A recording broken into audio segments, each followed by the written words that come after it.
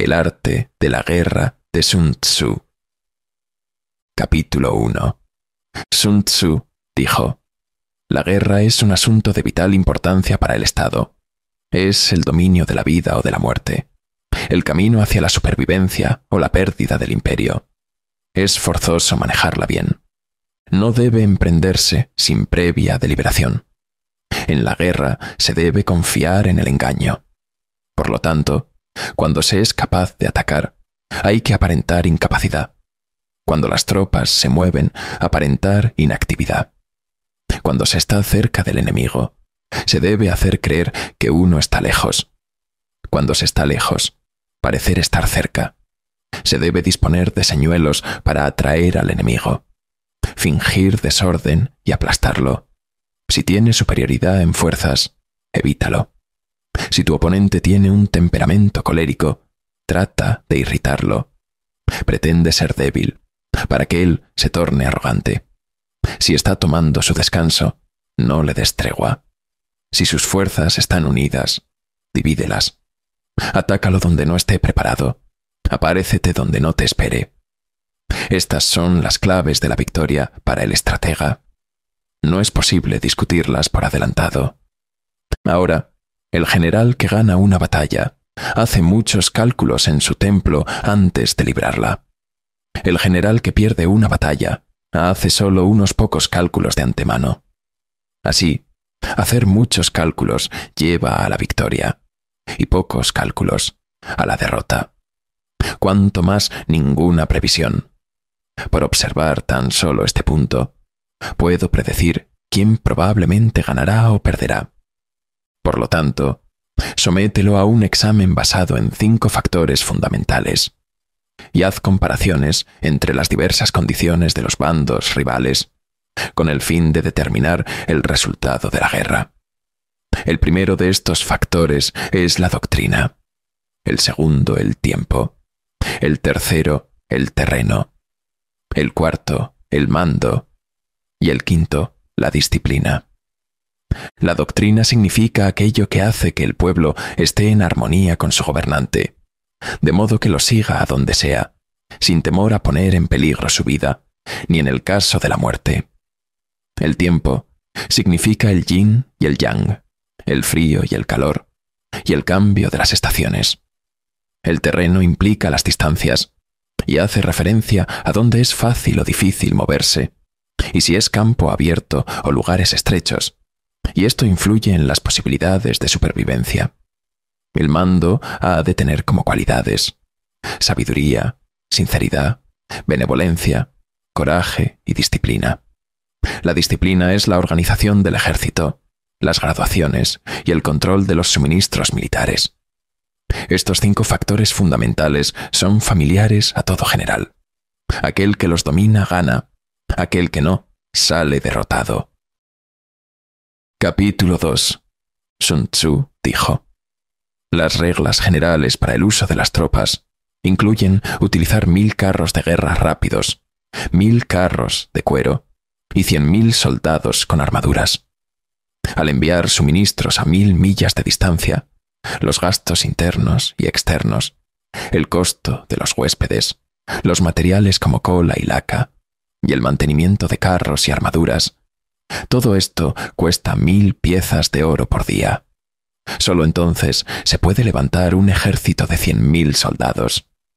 La clave en el uso de la guerra es valorar la victoria. Si la guerra se prolonga, las armas se embotan y el ímpetu se pierde.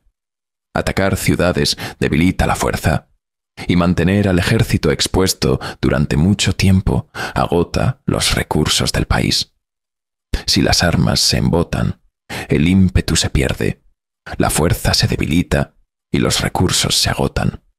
Entonces los otros señores feudales aprovecharán nuestras debilidades y se levantarán en nuestra contra. Y aunque haya sabios entre nosotros, no podrán remediar las consecuencias. Así que se ha oído hablar de una guerra torpe y rápida, pero nunca de una prolongada y hábil. Nunca ha habido un caso en el que un país se haya beneficiado de una guerra prolongada. Aquellos que no comprenden las desventajas de usar tropas no pueden comprender plenamente las ventajas de usarlas. Los buenos comandantes no reclutan soldados dos veces, ni transportan suministros tres veces. Obtienen los recursos necesarios del país y dependen de los suministros del enemigo. Así, el ejército siempre tendrá suficientes provisiones. Un país empobrecido por su ejército tiene que enviar suministros desde lejos, y el transporte lejano empobrece al pueblo. Los precios altos cerca del ejército agotan las riquezas del pueblo, y cuando las riquezas se agotan, la gente se apresura a tomar las armas. La fuerza se debilita, los recursos se agotan, y el país queda desierto. Los gastos del pueblo representan siete décimas partes, mientras que los gastos públicos, tales como la destrucción de ejércitos, caballos agotados, armaduras rotas, flechas y ballestas, lanzas y escudos, defensas y carros, representan seis décimas partes. Por lo tanto, el comandante sabio se esfuerza por obtener provisiones del enemigo. Una medida de alimento del enemigo equivale a veinte medidas nuestras, y una medida de forraje del enemigo equivale a veinte medidas nuestras. Matar al enemigo se debe a la ira. Tomar los beneficios del enemigo se debe a la recompensa. Por lo tanto, en la guerra de carros, si se capturan más de diez carros, se recompensa a quienes los capturan primero. Cambia las banderas y enseñas de los carros capturados y úsalos mezclados con los tuyos. Trátalos bien a los soldados capturados para que se unan a tus tropas. Esto se llama vencer al enemigo y hacerse más fuerte. Por lo tanto, la victoria es lo más valioso en la guerra, no la prolongación de la guerra. El comandante que comprende la guerra es el salvador del pueblo y el guardián de la seguridad del país. Capítulo 3. Sun Tzu dijo, En general, en el uso de las tropas, conservar intacto a un país es lo mejor. Destruir un país es lo segundo. Conservar intacto a un ejército es lo mejor. Destruir un ejército es lo segundo. Conservar intacto a un batallón es lo mejor. Destruir un batallón es lo segundo. Conservar intacta a una compañía es lo mejor. Destruir una compañía es lo segundo. Conservar intacta a una escuadra es lo mejor. Destruir una escuadra es lo segundo. Por lo tanto, ganar cien batallas cien veces no es la mayor habilidad. Someter al enemigo sin luchar es la mayor habilidad. Por eso, la mejor estrategia es atacar los planes del enemigo. La siguiente es atacar sus alianzas. La siguiente es atacar a su ejército. La peor es atacar ciudades fortificadas. Atacar ciudades fortificadas es una medida de último recurso. Construir torreones y carros de asalto, preparar equipos, lleva tres meses. Construir terraplenes y fortificaciones lleva otros tres meses. Si un general incapaz de contener su ira, lanza a sus soldados al ataque como si fueran hormigas, perderá un tercio de sus hombres y no tomará la ciudad. Esta es la desgracia de atacar ciudades. Por lo tanto, los expertos en el uso de las tropas someten a los ejércitos del enemigo sin luchar. Toman sus ciudades sin asediarlas. Destruyen su país sin largas campañas. Deben luchar con total superioridad en todo el mundo por lo que sus tropas no se desgastan y su beneficio es completo. Esta es la ley de las estrategias de ataque. Por lo tanto, en el uso de las tropas, si tienes diez veces la fuerza del enemigo, rodéalo. Si tienes cinco veces la fuerza del enemigo, atácalo. Si tienes el doble de su fuerza, divídelo. Si tienes la misma fuerza, lucha con él. Si tienes menos fuerza, evítalo. Si eres mucho más débil, retírate. Por lo tanto, la determinación de un pequeño enemigo es atrapado por un gran enemigo. Un general es el apoyo del Estado. Si su apoyo es completo, el Estado será fuerte. Si su apoyo tiene fallos, el Estado será débil. Por lo tanto, un gobernante tiene tres errores con respecto a sus tropas. No saber que el ejército no puede avanzar y ordenarlo avanzar. No saber que el ejército no puede retirarse y ordenarlo retirarse. Esto se llama enredar al ejército. No saber los asuntos de las tropas y asumir responsabilidades de mando como si las conociera, confunde a los soldados. No saber el poder de las tropas y asumir responsabilidades de mando hace dudar a los soldados. Cuando las tropas están confundidas y dudosas, los problemas de los príncipes feudales vendrán. Esto se llama tirar de un ejército a la derrota. Por lo tanto, para conocer la victoria hay cinco factores. Saber cuándo luchar y cuándo no luchar. Entender el uso de las fuerzas superiores e inferiores. Tener unidad de propósito. Prepararse para lo inesperado. Tener un general competente al que el gobernante no interfiera. Estos cinco factores son el camino para conocer la victoria. Por lo tanto, se dice, conoce a tu enemigo y conócete a ti mismo. Y en cien batallas nunca estarás en peligro. Si no conoces al enemigo, pero te conoces a ti mismo, tendrás una victoria y una derrota. Si no conoces al enemigo ni a ti mismo, estarás en peligro en cada batalla. Capítulo 4 Los expertos en la guerra del pasado primero se aseguraban de ser invencibles, y luego esperaban que el enemigo fuera vulnerable. Ser invencible depende de uno mismo. La vulnerabilidad del enemigo depende de él. Por lo tanto, los expertos en la guerra pueden hacerse invencibles, pero no pueden hacer que el enemigo sea siempre vulnerable. Por eso se dice, la victoria puede ser conocida, pero no puede ser forzada. Ser invencible es defenderse. Ser vulnerable es atacar. Defenderse es insuficiente. Atacar es tener en exceso. Los expertos en defensa se ocultan bajo la tierra. Los expertos en ataque se mueven sobre los cielos. Por lo tanto, pueden protegerse a sí mismos y obtener una victoria completa. Ver una victoria que cualquiera puede ver no es la mayor habilidad. Ganar una batalla y que el mundo diga que es una buena batalla no es la mayor habilidad. Por lo tanto, levantar una pluma no es señal de gran fuerza. Ver el sol y la luna no es señal de buena vista. Escuchar el trueno no es señal de buen oído. Los expertos en la guerra del pasado ganaban fácilmente contra los que eran fáciles de vencer. Por lo tanto, las victorias de los expertos en la guerra no tienen fama de sabiduría ni mérito de valentía. Sus victorias no contienen errores. Sin errores, sus acciones aseguran la victoria. Derrotan a un enemigo ya vencido. Por lo tanto, los expertos en la guerra se posicionan en un lugar donde no pueden ser derrotados, y no pierden la oportunidad de derrotar al enemigo. Así, las tropas victoriosas primero se aseguran la victoria y luego buscan la batalla. Las tropas derrotadas primero buscan la batalla y luego intentan obtener la victoria. Los expertos en el uso de las tropas cultivan el Dao y preservan las leyes. Así pueden establecer las políticas de victoria y derrota.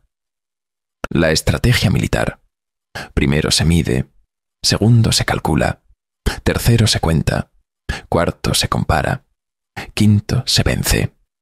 El terreno genera la medición. La medición genera el cálculo. El cálculo genera el conteo. El conteo genera la comparación. La comparación genera la victoria. Por lo tanto, las tropas victoriosas son como comparar una libra contra una onza. Las tropas derrotadas son como comparar una onza contra una libra. La formación de las tropas victoriosas es como el agua que rompe un barranco de mil pies. Tal es su forma.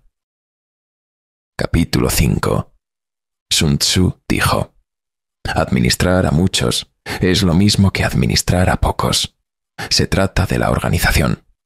Luchar con muchos es lo mismo que luchar con pocos. Se trata de las formaciones y nombres.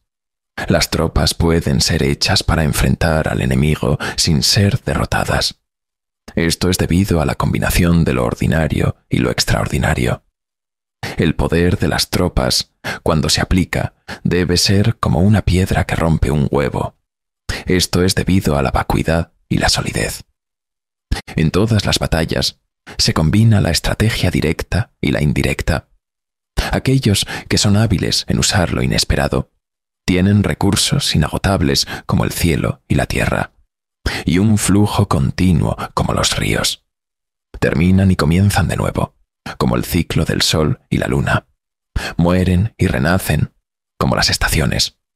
Los sonidos no son más que cinco, pero las variaciones de los cinco sonidos no se pueden agotar. Los colores no son más que cinco, pero las variaciones de los cinco colores no se pueden agotar. Los sabores no son más que cinco, pero las variaciones de los cinco sabores no se pueden agotar. Las estrategias de batalla no son más que directa e indirecta, pero las variaciones de estas dos no se pueden agotar.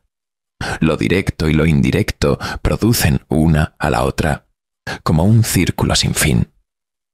¿Quién puede agotar sus posibilidades? La rapidez del agua corriente que arrastra las rocas es debida al impulso. La rapidez del ave rapaz que rompe y destroza es debida a la precisión. Por lo tanto, los expertos en la guerra crean un impulso peligroso y lo mantienen corto. Su impulso es como una ballesta extendida, y su precisión es como disparar una flecha. En medio de la confusión, su batalla parece desordenada, pero no se puede desordenar. En medio del caos, su formación parece confusa, pero no se puede derrotar. El orden surge del caos, el valor surge de la cobardía, la fuerza surge de la debilidad. El orden y el caos son una cuestión de organización. El valor y la cobardía son una cuestión de impulso. La fuerza y la debilidad son una cuestión de formación. Por lo tanto, los expertos en movilizar al enemigo lo hacen mediante la formación. El enemigo debe seguirlo. Dan al enemigo algo que tomar, y el enemigo debe capturarlo. Mueven al enemigo con la ventaja, y lo mantienen con tropas preparadas. Por lo tanto, los expertos en la guerra buscan el impulso. No exigen de las personas. Pueden seleccionar personas y aprovechar el impulso. Aquellos que aprovechan el impulso, sus tropas son como troncos y piedras que ruedan. La naturaleza de los troncos y las piedras es estar quietos cuando están en terreno plano y moverse cuando están en una pendiente. Si son cuadrados, se detienen. Si son redondos, ruedan. Por lo tanto, el impulso de aquellos que son expertos en la guerra es como el de una piedra redonda rodando por una montaña de mil pies. Capítulo 6 los que primero ocupan el campo de batalla y esperan al enemigo están relajados. Los que llegan después y se apresuran a la batalla están fatigados. Por lo tanto, los expertos en la guerra dirigen al enemigo y no son dirigidos por él. Pueden hacer que el enemigo venga por su propio interés. Pueden hacer que el enemigo no venga al causarle daño. Por lo tanto, pueden cansar a un enemigo descansado Pueden provocar hambre a un enemigo bien alimentado. Pueden mover a un enemigo estable. Atacan donde el enemigo debe apresurarse. Y avanzan donde el enemigo no lo espera. Marchar 300 millas sin fatiga es marchar por donde no hay enemigos. Atacar y obtener la victoria es atacar donde no hay defensa. Defenderse y mantenerse invulnerable es defender donde el enemigo seguramente atacará. Por lo tanto, los expertos en ataque hacen que el enemigo no sepa dónde defender. Los expertos en defensa hacen que el enemigo no sepa dónde atacar. Tan sutiles que no tienen forma, tan misteriosos que no tienen sonido, Así pueden ser los señores del destino del enemigo. Avanzar de manera irresistible es atacar las vacuidades del enemigo. Retirarse de manera inalcanzable es ser rápido e inatrapable. Por lo tanto, si deseo luchar, aunque el enemigo tenga murallas altas y fosos profundos, no podrá evitar luchar conmigo porque atacaré donde debe socorrer. Si no deseo luchar, aunque trace una línea en el suelo y me defienda, el enemigo no podrá luchar conmigo porque lo desviaré hacia otro lado. Por lo tanto, al presentar una forma y no tener forma, yo me concentro y el enemigo se dispersa. Me concentro en uno, el enemigo se dispersa en diez. Esto significa que con diez de mis tropas ataco a una del enemigo, y mis muchos superan a sus pocos. Los que pueden con muchos vencer a pocos son los que limitan al enemigo a luchar en pocas ocasiones.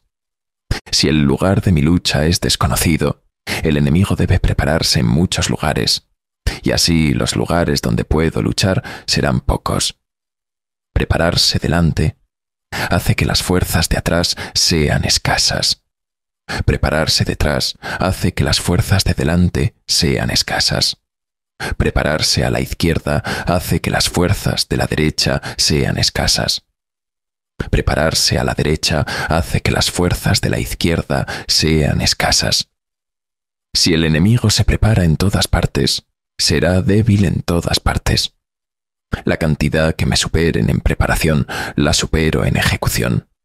Si sé el lugar y el día de la batalla, puedo luchar desde trescientas millas de distancia. Si no sé el lugar y el día de la batalla, el ala izquierda no puede apoyar al ala derecha. El ala derecha no puede apoyar al ala izquierda. El frente no puede apoyar a la retaguardia. Y la retaguardia no puede apoyar al frente. Y mucho menos si las distancias son de decenas de millas. De acuerdo a esto, aunque las tropas de Yue sean numerosas, ¿qué utilidad tienen en la victoria o la derrota? Por lo tanto, se dice que la victoria puede ser creada. Aunque el enemigo sea numeroso, puede hacerse que no luche. Por lo tanto, calcula sus planes y conocerás las ventajas y desventajas. Observa sus formaciones y conocerás el terreno de la vida y la muerte. Prueba sus fuerzas y conocerás los puntos de exceso y de insuficiencia. La forma de las tropas es llegar al punto de no tener forma. Sin forma, los espías más profundos no pueden espiar, ni los sabios más inteligentes pueden hacer planes. Basándose en la forma, se gana la victoria con la mayoría, y nadie puede saber cómo ocurrió. La gente puede saber la forma por la que obtuve la victoria, pero nadie sabe la forma por la que aseguré la victoria. Por lo tanto, las victorias en la batalla no se repiten, pero sus formas responden a infinitas variaciones. La forma de las tropas es como el agua. La forma del agua es evitar lo alto y correr hacia lo bajo. La forma de las tropas es evitar lo sólido y golpear lo vacío. El flujo del agua depende del terreno. La victoria de las tropas depende del enemigo. Por lo tanto, las tropas no tienen formaciones constantes. El agua no tiene forma constante. Quien puede adaptarse al enemigo y lograr la victoria es llamado divino. Por lo tanto, los cinco elementos no tienen una victoria constante. Las cuatro estaciones no tienen una posición constante. El sol tiene duraciones cortas y largas, y la luna tiene fases de mengua y plenitud. Capítulo 7 Sun Tzu dijo, En la ley del uso de las tropas, el general recibe órdenes del gobernante, reúne al ejército y a la multitud, y se instala en el campo de batalla. Nada es más difícil que la lucha por la ventaja. Las dificultades en la lucha por la ventaja son convertir lo indirecto en directo y la adversidad en beneficio. Por lo tanto, desviar el camino y atraer con beneficios, permitiendo que los que llegan después alcancen primero, es conocer el cálculo de lo indirecto y lo directo. Por lo tanto, luchar por la ventaja es beneficioso y también peligroso. Si se moviliza todo el ejército para luchar por la ventaja, no se llegará a tiempo. Si se abandona el equipo pesado para luchar por la ventaja, el equipo se perderá. Por lo tanto, avanzar con la armadura enrollada, día y noche sin detenerse, recorriendo el doble del camino habitual, a treinta millas para luchar por la ventaja, se capturarán tres generales. Los soldados fuertes llegarán primero, los débiles llegarán después, y solo uno de cada diez llegará. A quince millas para luchar por la ventaja, se derribará al general superior, y solo la mitad de los soldados llegarán. A nueve millas para luchar por la ventaja, dos tercios de los soldados llegarán. Por lo tanto, un ejército sin equipo pesado perecerá, sin provisiones perecerá, sin acumulación perecerá. Por lo tanto, aquellos que no conocen los planes de los señores feudales no pueden formar alianzas. Aquellos que no conocen la topografía de montañas, bosques, desfiladeros y ciénagas no pueden moverse. Aquellos que no usan guías locales no pueden aprovechar las ventajas del terreno. Por lo tanto, las tropas se establecen con engaño, se movilizan por ventaja y cambian mediante la división y la combinación. Por lo tanto, su velocidad es como el viento, su lentitud es como el bosque, su invasión es como el fuego, su inmovilidad es como una montaña, es tan difícil de conocer como la oscuridad, y se mueve como un trueno. Saquean y dividen el botín, expanden el territorio y comparten los beneficios, ponderan las oportunidades y se mueven. Aquellos que primero conocen el cálculo de lo indirecto y lo directo ganarán. Esta es la ley de la lucha por la ventaja. El tratado militar dice, cuando las palabras no se pueden escuchar, se usan tambores y campanas.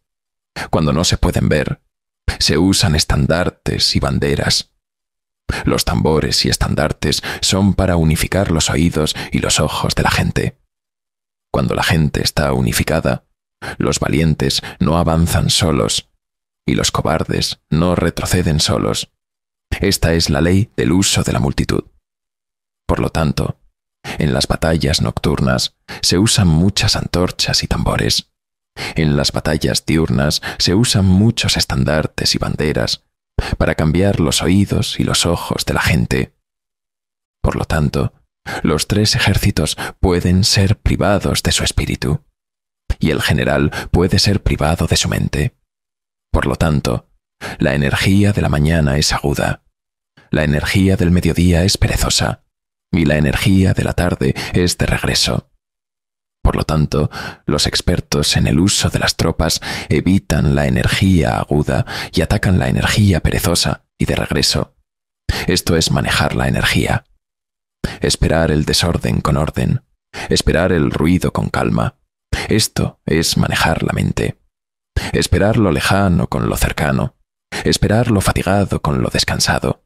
Esperar lo hambriento con lo lleno. Esto es manejar la fuerza. No enfrentar banderas ordenadas. No atacar formaciones imponentes. Esto es manejar el cambio. Por lo tanto, en la ley del uso de las tropas, no avanzar hacia colinas elevadas, no atacar al enemigo que tiene la colina a sus espaldas, no perseguir a los enemigos que simulan una retirada, no atacar a tropas vigorosas, no comer el cebo de tropas señuelo, no detener a tropas que regresan a casa, dejar una salida a un enemigo rodeado, no presionar a un enemigo acorralado. Esta es la ley del uso de las tropas. Capítulo 8 Sun Tzu dijo, en la ley del uso de las tropas, el general recibe órdenes del gobernante, reúne y concentra al ejército, y se establece. En terreno peligroso, no acampes. En terreno de intersección, une tus fuerzas con aliados. En terreno cortado, no te demores. En terreno de cerco, planea. En terreno de muerte, lucha. Hay caminos que no deben seguirse. Hay tropas que no deben atacarse. Hay ciudades que no deben asediarse. Hay terrenos que no deben disputarse. Hay órdenes del gobernante que no deben obedecerse. Por lo tanto, el general que comprende las ventajas de las nueve variaciones sabe cómo usar las tropas. El general que no comprende las ventajas de las nueve variaciones, aunque conozca la topografía, no puede aprovechar las ventajas del terreno. Gobernar las tropas sin conocer el arte de las nueve variaciones, aunque se conozcan las cinco ventajas, no se puede aprovechar a las personas. Por lo tanto, las consideraciones del sabio deben incluir tanto las ventajas como los peligros. Al considerar las ventajas, se debe asegurar la confiabilidad. Al considerar los peligros, se deben resolver las dificultades. Por lo tanto, doblegar a los señores feudales se hace a través de los peligros. Ponerlos a trabajar se hace a través de sus tareas y apresurarlos se hace a través de sus beneficios. Por lo tanto, en la ley del uso de las tropas, no dependas de que el enemigo no venga, sino depende de estar preparado para esperarlo. No dependas de que el enemigo no ataque, sino depende de tener lo que no puede ser atacado. Por lo tanto, hay cinco peligros para un general. Si está dispuesto a morir, puede ser asesinado. Si desea vivir, puede ser capturado. Si es rápido para enfadarse, puede ser insultado. Si es escrupuloso, puede ser deshonrado. Si ama demasiado a su pueblo, puede ser preocupado. Estos cinco son los excesos de un general y los desastres del uso de las tropas. Cuando un ejército es destruido y el general es asesinado, inevitablemente se debe a estos cinco peligros, y no se pueden ignorar. Capítulo 9 Sun Tzu dijo, En la disposición de tropas frente al enemigo, si cruzas montañas, mantente cerca de valles. Si observas la vida, sitúate en lugares altos. Cuando luches en terrenos elevados, no subas la pendiente. Esta es la disposición de las tropas en terrenos montañosos. Cuando cruces un río, mantente lejos del agua. Si el enemigo cruza un río y se aproxima, no lo enfrentes en el agua. Deja que la mitad de sus fuerzas cruce y luego ataca. Si deseas luchar, no te acerques al agua para enfrentarte al enemigo. Observa la vida desde un lugar alto. No enfrentes el flujo del agua. Esta es la disposición de las tropas en terrenos acuáticos. Si cruzas un pantano, apártate rápidamente y no te detengas. Si te encuentras con el enemigo en un pantano, sitúate junto a vegetación y árboles altos, con el agua a tus espaldas. Esta es la disposición de las tropas en terrenos pantanosos. En terreno plano, sitúate en lugares fáciles de defender, con el terreno elevado a tu derecha y a tu espalda, y el terreno de vida a tu frente y a tu espalda. Esta es la disposición de las tropas en terreno plano. Las ventajas de estas cuatro disposiciones son las que permitieron al emperador amarillo vencer a los otros cuatro emperadores. Las tropas prefieren los lugares altos y evitan los bajos. Valoran la luz y desprecian la sombra. Cuidan su salud y evitan enfermedades. Esto es esencial para la victoria. En colinas y diques, sitúate en el lado soleado con el terreno elevado a tu espalda. Estas son las ventajas del uso de tropas, con la ayuda del terreno. Cuando llueva y el agua llegue con espuma, espera a que se calme antes de cruzar. En terrenos con barrancos, pozos, cárceles naturales, trampas naturales, fosos naturales y grietas naturales, apártate rápidamente y no te acerques. Si nosotros estamos lejos, el enemigo estará cerca si nosotros avanzamos, el enemigo estará de espaldas. Junto a las tropas hay terrenos peligrosos, pozos, juncos, pequeños bosques y maleza densa. Revisa cuidadosamente estos lugares, ya que podrían esconder emboscadas. Si el enemigo está cerca y permanece en calma, es porque confía en su posición. Si está lejos y desafía, es porque desea que avancemos. Si su posición es fácil, es porque busca ventaja. Si ves muchos árboles moviéndose, el enemigo se está acercando. Si hay muchas barreras en la vegetación, está creando dudas. Si ves aves volando, es porque hay una emboscada. Si ves animales asustados, es porque hay una trampa. Si el polvo se levanta alto y en picos, son carros. Si el polvo se eleva bajo y extendido, son tropas a pie. Si el polvo es disperso y en tiras, están recogiendo leña. Si el polvo es bajo y se mueve hacia adelante y hacia atrás, están acampando. Si sus palabras son humildes pero aumentan sus preparativos, están avanzando. Si sus palabras son engañosas y avanzan rápidamente, están retirándose. Si los carros ligeros salen primero y se colocan a los lados, están formando. Si solicitan paz sin acuerdo, están tramando algo. Si corren y colocan tropas rápidamente, están planeando atacar. Si avanzan a medias y luego retroceden, están tratando de engañar. Si se apoyan en sus armas, están hambrientos. Si van por agua y la beben primero, están sedientos. Si ven ventaja y no avanzan, están cansados. Si los pájaros se reúnen, el lugar está vacío. Si gritan por la noche, están asustados. Si las tropas están inquietas, el general no tiene control. Si las banderas se mueven, hay desorden. Si los oficiales están enojados, las tropas están cansadas. Si los caballos están alimentados con grano, las tropas están comiendo carne y no tienen ollas colgantes. No están regresando a sus campamentos. Si sus palabras son suaves y sus tropas están en movimiento, han perdido a su gente. Si hay muchas recompensas, están en un callejón sin salida. Si hay muchos castigos, están en grandes dificultades. Si primero son feroces y luego temen a su gente, han llegado al punto de la falta de perfección. Si vienen con humildad y se disculpan, quieren descansar. Si las tropas están enojadas y se enfrentan durante mucho tiempo sin enfrentarse y no se retiran, observa cuidadosamente. Las tropas no se valoran por su cantidad, pero no se debe avanzar temerariamente. Es suficiente concentrar fuerzas evaluar al enemigo y tomar a las personas. Aquellos que actúan sin reflexión y subestiman al enemigo, seguramente serán capturados. Si castigas a las tropas antes de ganarte su lealtad, no te obedecerán. Si las tropas ya son leales, pero no las castigas, no se pueden usar. Por lo tanto, dirige con cortesía y unifica con disciplina. Esto es seguro para obtener la victoria. Si las órdenes se cumplen habitualmente y se enseñan a la gente, la gente las obedecerá.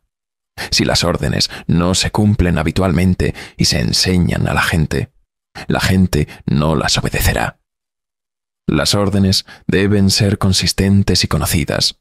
Así se puede estar en armonía con la multitud. Capítulo 10 Sun Tzu dijo, hay seis tipos de terreno. Accesible, suspendido, ramificado, estrecho, peligroso y lejano. Un terreno en el que nosotros podemos avanzar, y ellos también pueden avanzar, se llama accesible. En un terreno accesible, sitúate primero en un lugar alto y soleado, y asegúrate de que tus provisiones sean seguras. Entonces será ventajoso luchar. Un terreno en el que se puede avanzar pero es difícil regresar, se llama suspendido. En un terreno suspendido, si el enemigo no está preparado, avanza y obtendrás la victoria. Pero si el enemigo está preparado, avanza y no obtendrás la victoria, y será difícil regresar, lo cual no es ventajoso. Un terreno en el que no es ventajoso avanzar, y tampoco es ventajoso para el enemigo, se llama ramificado en un terreno ramificado. Aunque el enemigo ofrezca una ventaja, no debes avanzar, sino retirarte. Si el enemigo avanza en parte, entonces ataca y obtendrás la victoria. En un terreno estrecho, si tú llegas primero, ocúpalo completamente y espera al enemigo. Si el enemigo llega primero y lo ocupa completamente, no lo ataques. Pero si no lo ocupa completamente, entonces atácalo. En un terreno peligroso, si tú llegas primero, ocúpalo desde un lugar alto y soleado y espera al enemigo. Si el enemigo llega primero, retírate y no lo sigas. En un terreno lejano, donde las fuerzas son iguales y es difícil provocar una batalla.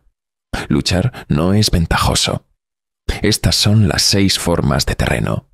El general tiene la responsabilidad de examinarlas cuidadosamente.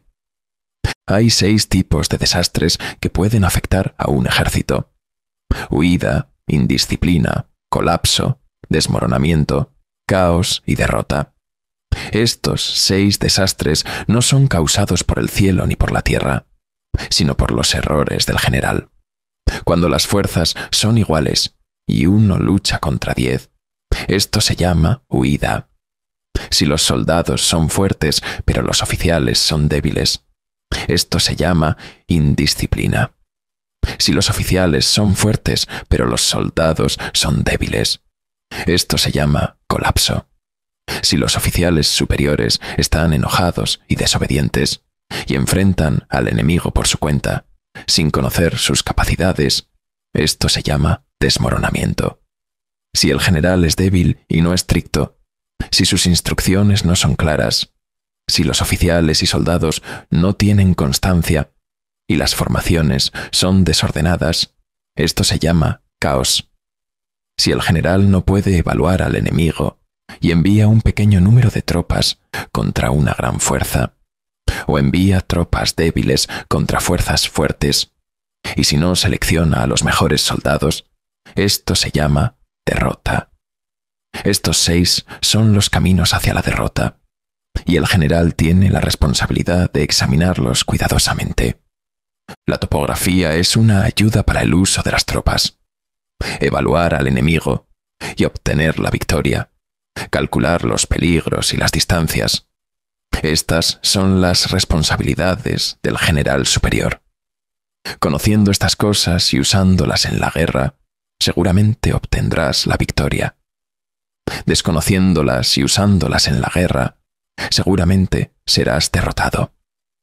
Por lo tanto, si la estrategia de batalla asegura la victoria, y el gobernante dice que no luches, aún puedes luchar si la estrategia de batalla no asegura la victoria, y el gobernante dice que luches, no luches.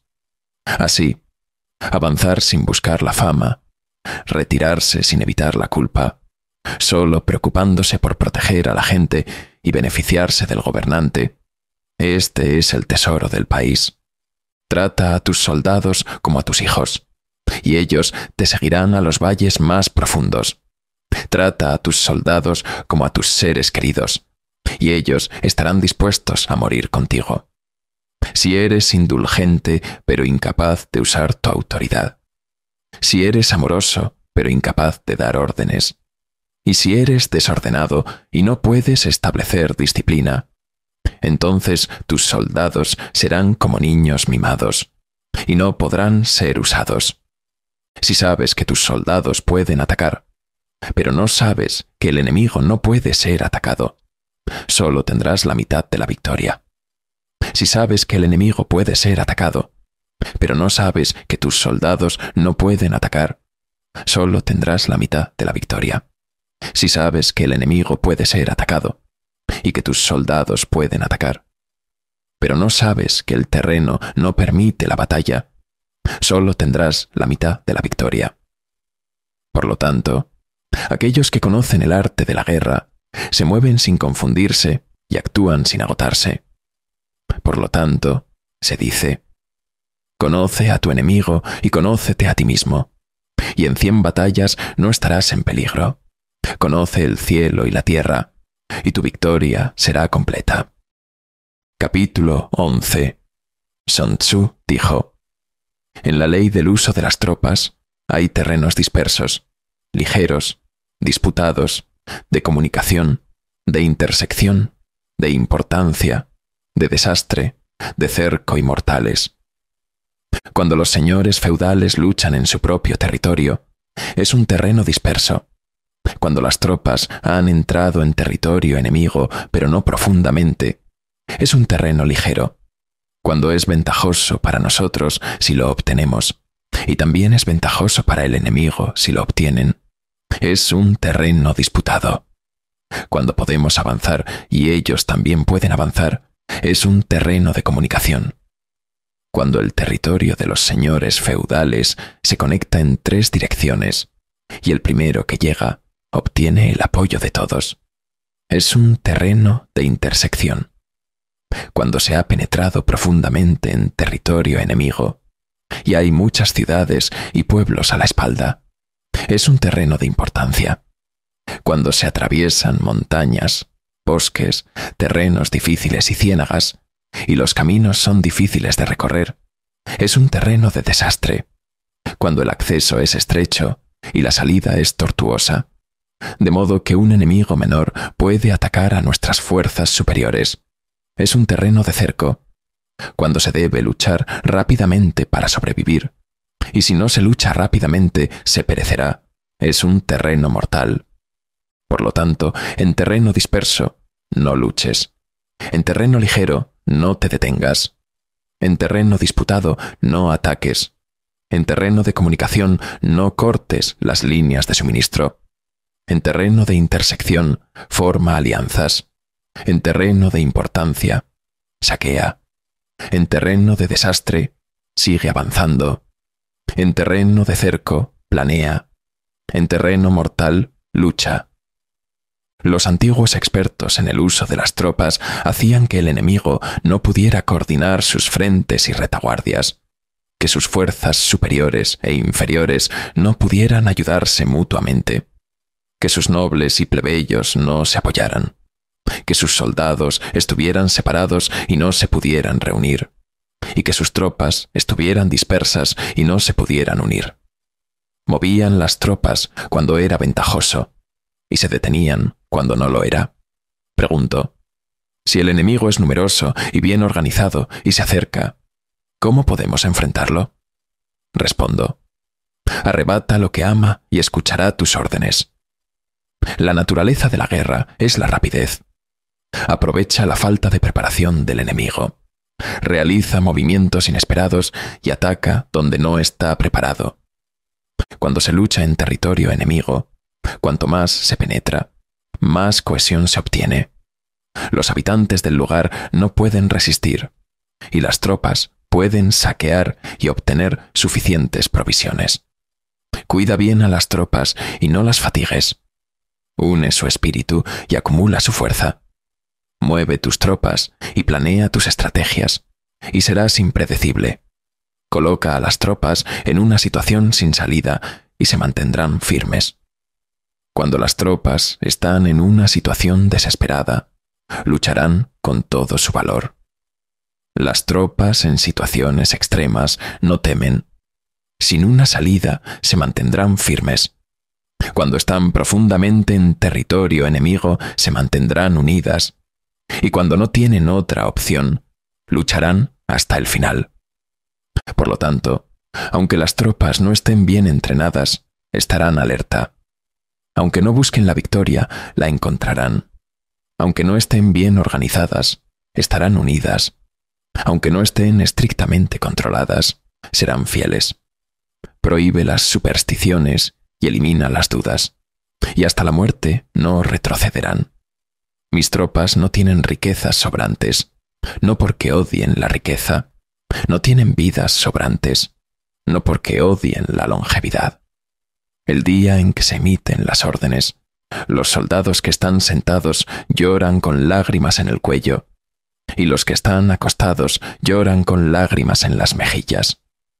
Quienes están en una situación desesperada mostrarán el valor de Xuan Chu y Kaogi. Por lo tanto, los expertos en el uso de las tropas son como la serpiente de montaña llamada Shuai Ran, Golpea su cabeza y la cola vendrá en su ayuda.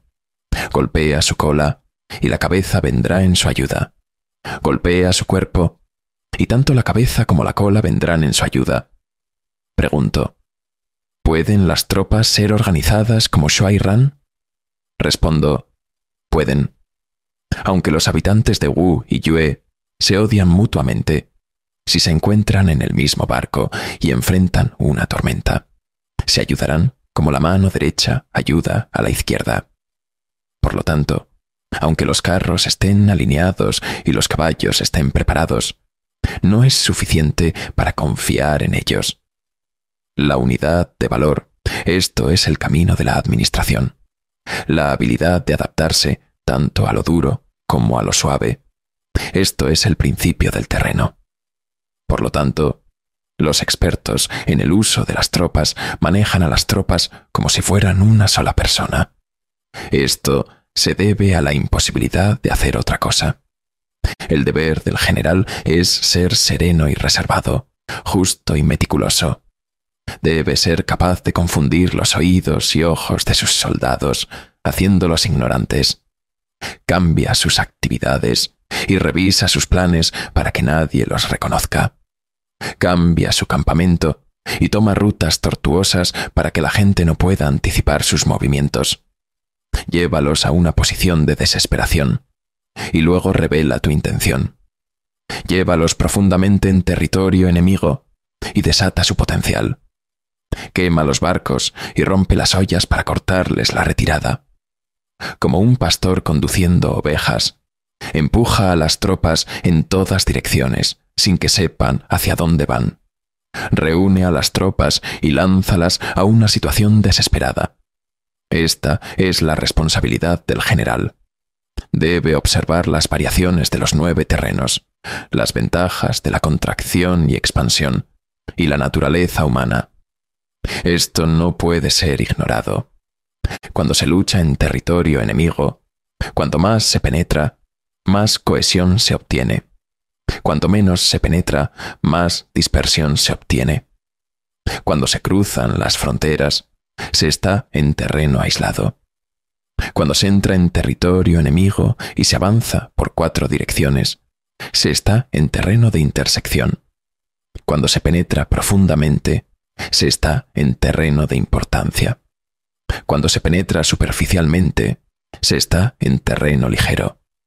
Cuando se tiene un terreno seguro a la espalda y un estrecho frente, se está en terreno de cerco. Cuando no hay salida, se está en terreno mortal. En terreno disperso, unifica las voluntades de tus tropas. En terreno ligero, mantén a las tropas juntas.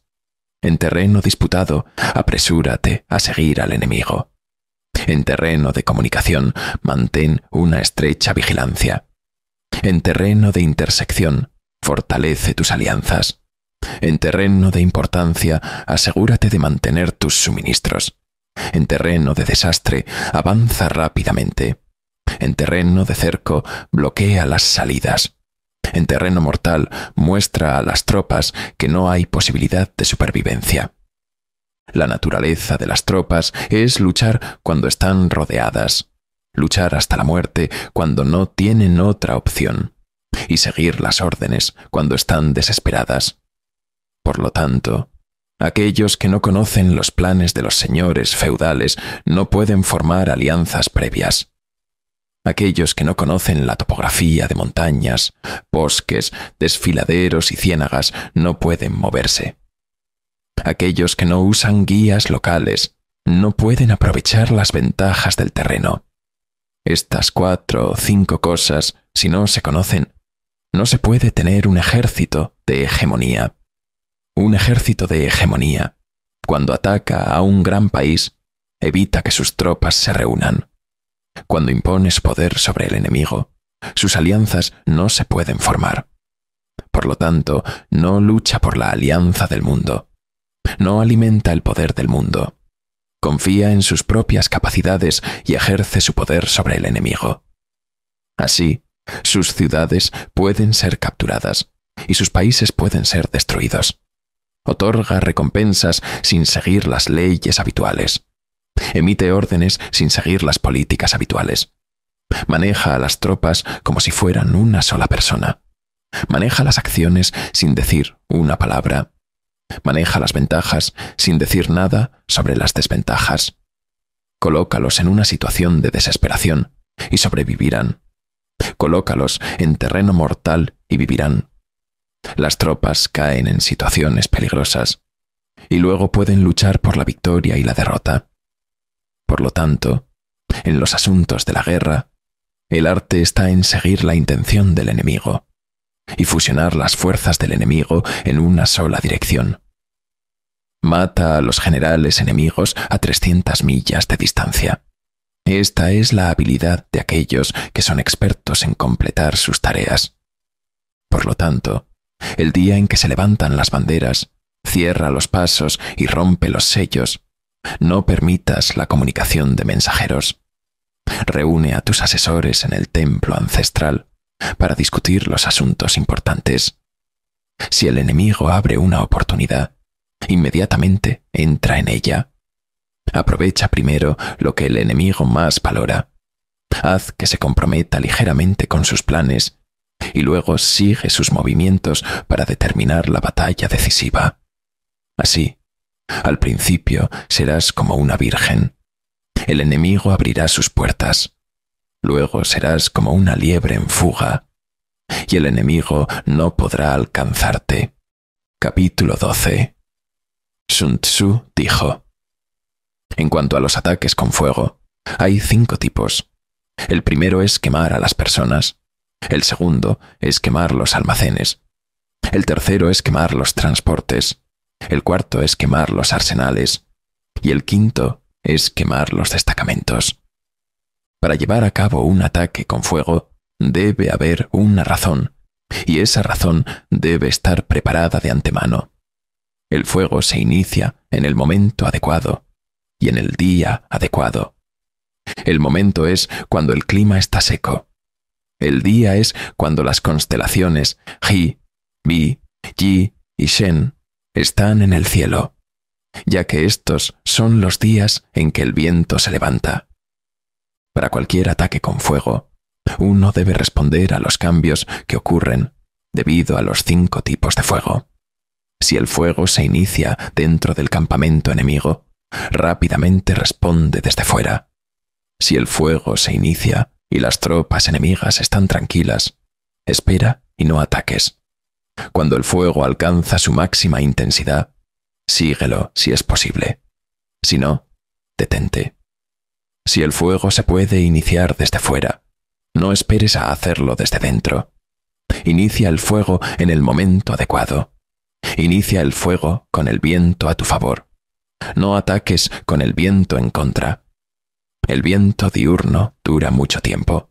El viento nocturno se detiene. Los ejércitos deben conocer los cambios de los cinco tipos de fuego y usar estos cálculos para defenderse. Por lo tanto, usar el fuego para asistir en los ataques muestra claridad. Usar el agua para asistir en los ataques muestra fuerza. El agua puede cortar, pero no puede ser robada. Aquellos que ganan batallas y capturan ciudades, pero no explotan sus logros, son peligrosos y se les llama gasto prolongado. Por lo tanto, se dice, un gobernante sabio planifica con cuidado y un buen general lo perfecciona. No actúes sin beneficio. No uses tropas sin obtener una ganancia. No luches sin estar en peligro. Un gobernante no debe levantar tropas por ira, ni un general debe atacar por frustración. Muévete si es ventajoso, detente si no lo es. La ira puede convertirse en alegría, la frustración puede convertirse en satisfacción, pero un país destruido no puede ser restaurado. Los muertos no pueden volver a la vida. Por lo tanto, un gobernante sabio es cauteloso y un buen general está alerta. Este es el camino para asegurar la paz del país y mantener al ejército intacto. Capítulo 13. Sun Tzu dijo, En cuanto a movilizar un ejército de cien mil, marchar trescientas millas, el costo para el pueblo y la financiación del Estado suman mil piezas de oro al día. tanto dentro como fuera, hay confusión, agotamiento en los caminos, y 700.000 familias no pueden ocuparse de sus tareas. Se pueden pasar años enfrentándose para disputar un día de victoria. Sin embargo, si un general tacaño retiene recompensas de cien piezas de oro y no conoce la situación del enemigo, eso es lo máximo en inhumanidad. No es el general del pueblo, no es el ayudante del gobernante y no es el amo de la victoria. Por lo tanto, los gobernantes sabios y los generales capaces que logran ganar y sobresalir en sus logros lo hacen a través del conocimiento previo. El conocimiento previo no se puede obtener de fantasmas y espíritus, ni por analogía con eventos pasados, ni por cálculos astronómicos. Debe obtenerse de las personas, aquellos que conocen la situación del enemigo. Hay cinco tipos de espías. El espía local, el espía interno, el espía doble, el espía sacrificable y el espía vivo. Cuando todos estos tipos de espías están activos y nadie sabe sus rutas, esto se llama orquestación divina y es el tesoro de un gobernante. El espía local se usa a través de la gente del lugar. El espía interno se usa a través de los oficiales del enemigo. El espía doble se usa a través de los espías enemigos. El espía sacrificable se usa para proporcionar información falsa a los espías enemigos. El espía vivo es el que regresa con información. De todos los asuntos del ejército, ninguno es más íntimo que el uso de espías. Ninguna recompensa es más generosa que la otorgada a los espías. Ningún asunto es más secreto que el de los espías. Sin sabiduría no se puede usar espías. Sin humanidad y justicia no se pueden emplear espías. Sin sutileza y astucia no se puede obtener la verdad de los espías. Sutil, sutil. No hay lugar donde no se usen espías. Si un espía revela su misión antes de que esté lista, tanto él como el receptor de la información deben ser ejecutados. Para cualquier ataque que el ejército desee realizar, cualquier ciudad que desee asediar, cualquier persona que desee matar, primero debe conocer el nombre del general defensor, sus asistentes, sus porteros y sus asistentes de cuarto. Nuestros espías deben buscar esta información. Busca los espías enemigos que vienen a espiarnos y sobórnalos. Convéncelos para que trabajen para nosotros y luego déjalos ir, para que puedan ser utilizados como espías dobles. A través de ellos, podemos obtener información sobre los espías locales y los espías internos. A través de ellos, podemos proporcionar información falsa a los espías sacrificables, y a través de ellos, podemos establecer el uso de los espías vivos. El gobernante debe conocer todos estos asuntos y debe confiar en los espías dobles. Por lo tanto, los espías dobles no deben ser mal recompensados. En tiempos antiguos, cuando la dinastía Yin prosperaba, Yi Zi estaba en la corte de Xia. Cuando la dinastía Shou prosperaba, Lu Ya estaba en la corte de Yin. Por lo tanto, solo un gobernante sabio y un general capaz que utilizan espías superiores lograrán grandes logros. Este es el principio de la guerra, y el ejército se mueve por él.